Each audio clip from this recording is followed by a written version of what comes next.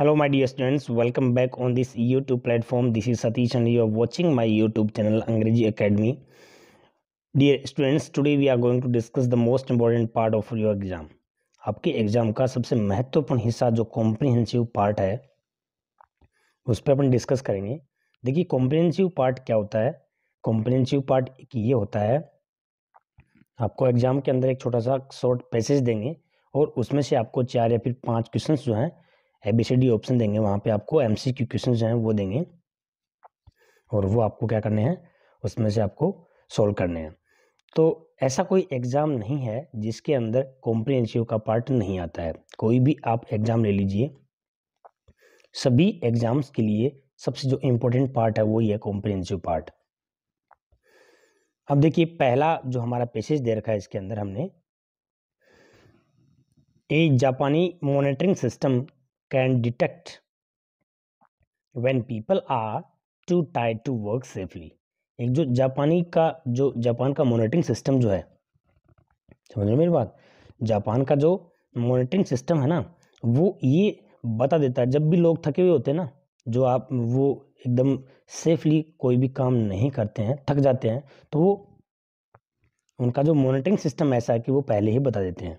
यानी कि even before they know it जाने से पहले वो बता देते हैं कि ये वाला आदमी थका हुआ है। ऐसा मतलब उनके पास में मोनिटरिंग सिस्टम है। The system analysis voice pattern और वो क्या करता है? फॉर जो उसके जो साइन है, किसके? फटिक फटिक का मतलब होता है, थकान।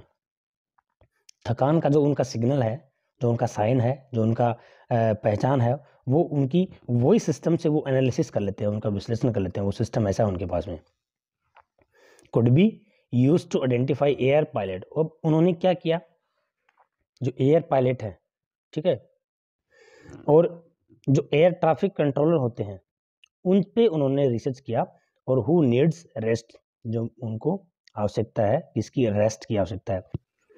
Preliminary test have been promising जो उन्होंने जो प्रारंभिक जो टेस्ट है वो एक आशाजनक रहा उनका प्रोमाइजिंग रहा उनका यानी कि जो भी उन्होंने टेस्ट किया था प्रारंभिक टेस्ट वो एक आशाजनक टेस्ट रहा।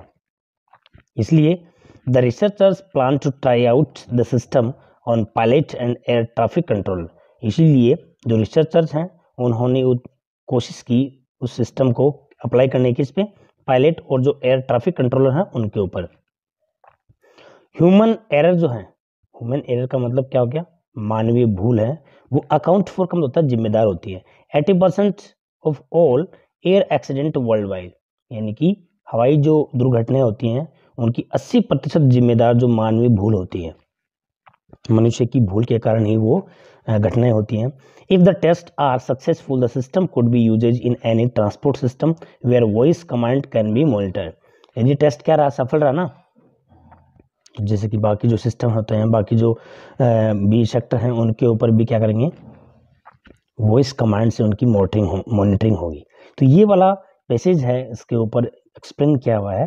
और हम देखेंगे इसके जो क्वेश्चंस हैं, वो किस तरह से आपसे पूछेंगे और आपको कैसे आंसर देना है। पहला question how does the monitoring system tell that people are too tie to work safely कि जो मॉनिटरिंग सिस्टम है, वो क्या बता देता है कि लोग हैं, वो थके हुए हैं, वो सेफली वर्क नहीं कर पाते हैं? तो देखिए स्टार्टिंग में आया था ना कि उनकी जो वॉइस सिस्टम है, आवाज़ से पहचान लेते हैं कि वो फटी गए, थके हुए हैं। तो इसमें क्या आंसर आ गया? फ्रॉम वॉइस पैटर्न इसका आंसर क्या होगा? फ्रॉम वॉइस पैटर्न यानी कि जो वॉइस पैटर्न है हमारा, उसी से हम उसको आइडेंटिफाई कर लेंगे कि ये आदमी थका हुआ है। What is the purpose of analysis analysis करने का पर्पज क्या है? आप किसी भी चीज़ की एनालिसिस करते हो, उसका विश्लेषण करते हो। देखिए एनालिसिस की जो वर्ड है, ये थोड़ा ध्यान रखना आप लोग। एनालिसिस का मतलब आप लोग कोई भी चीज़ का आकलन करते हो उसका विश्लेषण करते हो, अच्छी या फिर बुरी, कोई भी उसकी बारे में इंफॉर्मेशन लेते हो तो दैट इज़ द एनालिसिस तो ये जो पर्पज है उसका एनालिसिस का, ये क्या है देखिए? To test the effectiveness of Japanese monitoring system monitoring system को इफ़ेक्टिव बनाने का नहीं है उसमें। देखिए, इसमें आपने देखा है पैसेज के अंदर देर का है सीधी सीधी लाइन देर की है, कि to avoid accident due to the fatigue due to fatigue fatigue का मैंने आपको बताया था थकान।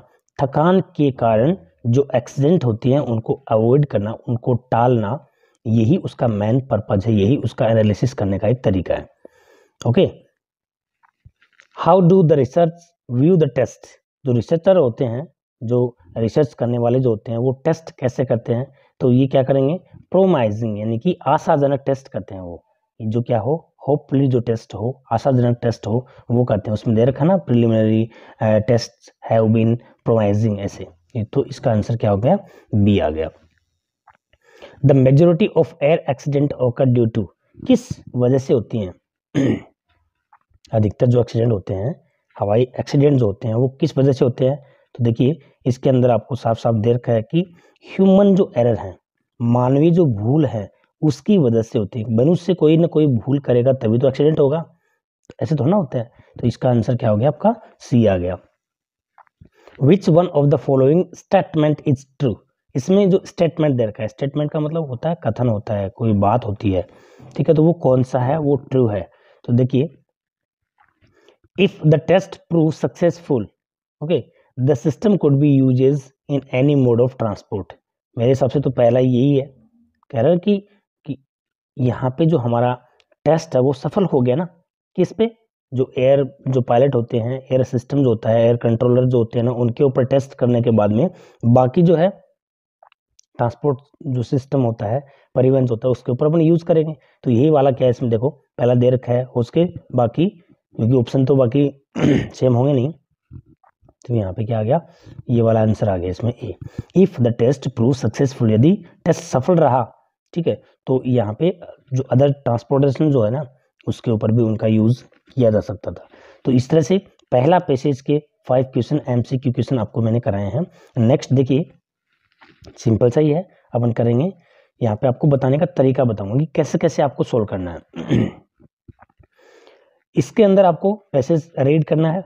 A well dressed young man entered a big textiles of one evening एक शाम को क्या होता है कि एक जो वेल ड्रेस्ड यंग मैन है।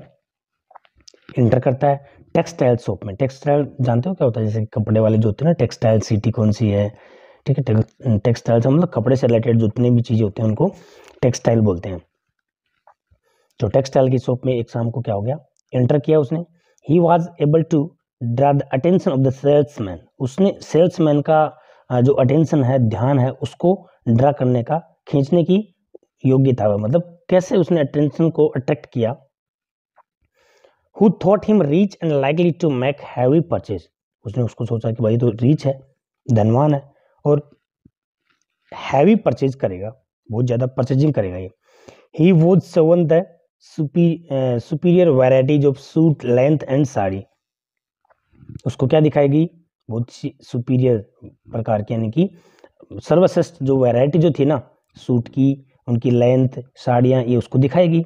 But after casually examining them आकस्मिक निरीक्षण के बाद में he kept moving to the next section वो अगले सेक्शन पे चला गया। कपड़े का जो भी दूसरा था, जो था where readymade goods were being sold and further on to the hosiery section पहले वो रेडीमेड जो सामान था गुड्स था, वहाँ पे चला गया।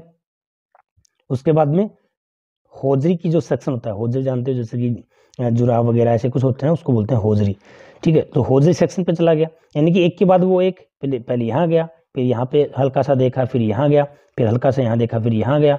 यानी कि वो सिर्फ़ और सिर्फ़ किसको अट्रैक्ट करने की सेल्समैन को अट्रैक्ट करने की ही कोशिश कर रहा था वह। By then the salesman had begun to doubt his attention वहाँ पे जो उसका इंटेंशन था सॉरी इंटेंशन इंटेंशन का मतलब क्या होता है? मकसद होता है, इरादा होता है। और उस सेल्समैन को उसका जो इरादा क्या था, उसका पता चल गया। And drew the attention of the manager और उसने मैनेजर का ध्यान जो था अटेंशन था, उसने उसको खींचने की कोशिश की भाई, ये वाले बात ऐसे।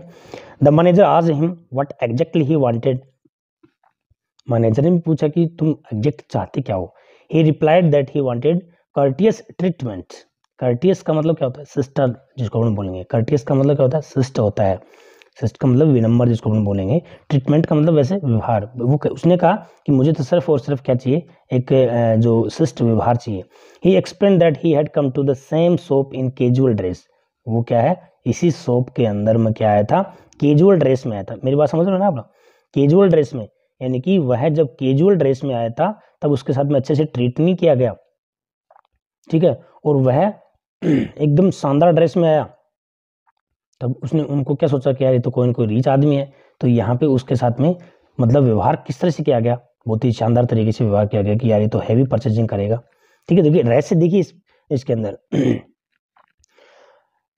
In the same shop in casual dress that morning and little attention तब मेरी तरफ़ कह रहा है कि वो ध्यान नहीं दिया बिल्कुल लिटिल अटेंशन दिया।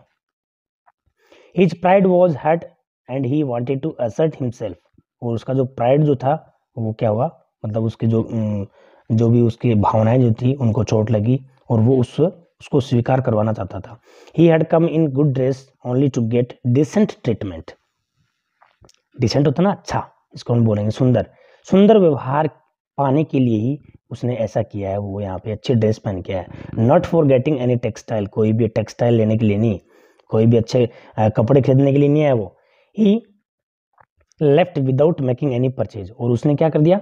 बिना किसी परचेजिंग के, बिना किसी खरीदारी के उसने उस दुकान को लेफ़्ट कर दिया। तो मेरी बात समझ रहे हो ना? इस लेसन के अंदर इस पेसेज के अंदर सिर्फ़ क्या कहना चाह रहा है? कि जब वह उस शॉप में आया, पुराने कपड़े पहन के आया, तब तो उसके साथ में व्यवहार अच्छा नहीं किया गया, है ना? और जब अच्छे कपड़े पहन के आया, तब उन्होंने सेल्समैन ने और मैनेजर ने सोचा कि ये पैसे वाला आदमी है तो उसके साथ में व्यवहार अच्छा किया गया। तो वो इन चीज़ों के बारे में ही वह उनको एहसास करवाना चाहता था। अब देखिए आपके क्वेश्चन देखिए। The young man was well dressed because क्या कारण था कि वह वेल ड्रेस में आया? तो कारण क्या था? वह सिर्फ़ और सिर्फ़ उनको इम्प्रेस करना चाहता था। He wanted to impress the salesman समझ रहे ना मेरी बात? उनका मकसद क्या नहीं था? परचेजिंग का नहीं था। उसको उनको इम्प्रेस करने का मकसद था। The salesman in the shop are described as people who pay attention to यहाँ देखिए सेल्समैन होते हैं ना, ये जो दुकान के अंदर सेल्समैन था, वो किस प्रकार से लोगों को अपने अटेंशन पे करता था? तो देखिए, इसके अंदर आपका आता है ओनली रीच कस्टमर्स सिर्फ़ और सिर्फ़ ऐसे लोग जो रीच थे, उन्हीं की तरफ़ वो अटेंशन जो है अपना पे करता था, उन्हीं की तरफ़ ध्यान देता था, ऐसा उसको डिस्क्राइब किया गया इसके अंदर। समझाया गया मतलब कि सेल्समैन ऐसा था कि वो केवल जो रीच कस्टमर हैं, उन्हीं की तरफ़ देखता था, वो सोचता था कि ये हैवी परचेजिंग करेंगे। The young man moved away to the hosiery section जो यंग मैन था, वो होजरी सेक्शन की तरफ़ चला गया। Because he was not interested in purchasing anything क्योंकि उसका इंटरेस्ट नहीं था किसी भी चीज़ में परचेजिंग करने का, इसलिए वो एक सेक्शन में गया, फिर दूसरे में गया, फिर तीसरे में गया। अलग अलग सेक्शन में जा रहा था वो। सिर्फ़ उनका ध्यान अट्रैक्ट करने के लिए। द मैनेजर आज the young man what he wanted because manager ने उनसे पूछा कि तुम चाहते क्या हो? ही वॉन्टेड वो चाहता था कि उसके साथ में क्या किया जाए भाई? अच्छा व्यवहार किया जाए। ठीक है? यहाँ पे और कुछ नहीं चाहता था। वो सिर्फ़ और सिर्फ़ यही चाहता था कि यहाँ पे सेल्समैन का जो ध्यान है, वो in the different attitude of the young man different जो उसके एटीट्यूड हैं अलग अलग उनके जो व्यवहार हैं, उन्हीं को वो उनकी अट्रैक्ट करवाना चाहता था कि भाई, यहाँ पे क्या हो? गरीब की तरफ़ कैसा ध्यान है? अमीर की तरफ़ कैसा ध्यान है? तो वो सिर्फ़ यही he wanted because the salesman had drawn his attention to the indifferent attitude of the young man उस आदमी की तरफ़ उसका जो एटीट्यूड था वो डिफरेंट था। जब वह सादे कपड़े पहन के आया तब कैसा था और अच्छे कपड़े पहन के आया तब कैसा था? तो यही वो चाहता था। The young man left without making purchases because he यहाँ पे देखिए, बिना किसी परचेज के उसने दुकान को लेफ़्ट कर दिया। क्यों? क्योंकि he had come only to make a point about the indifferent attitude the salesman वो जो सेल्समैन के अलग अलग जो एटीट्यूड थे, उनको वो पॉइंट आउट करवाना चाहता था। वो उनको उससे एहसास करवाना चाहता था कि भाई ये वाली दिक्कत है, तेरे में इसको सुधार कर ले। इस वजह से उन्हें, उसने दुकान को सब छोड़ दिया, क्योंकि उसको क्या नहीं करना था? परचेजिंग नहीं करना था। इस तरह से दोस्तों, आपका जो हमने क्या डाला है कॉम्प्रेंशन पार्ट डाला है, आपका अगर रिस्पॉन्स मिला तो इसके लिए आपके लिए इंपॉर्टेंट जो आपकी एग्ज़ाम है अपकमिंग जो एग्ज़ाम है इम्पोर्टेंट एग्ज़ाम है, उनके लिए ये और लेके आएँगे। अगर आपने क्या कहा थोड़ा सा रिस्पॉन्स अच्छा मिला तो। अदरवाइज़ तो चल रहा है, कोई बात नहीं। तो please like and share thanks for watching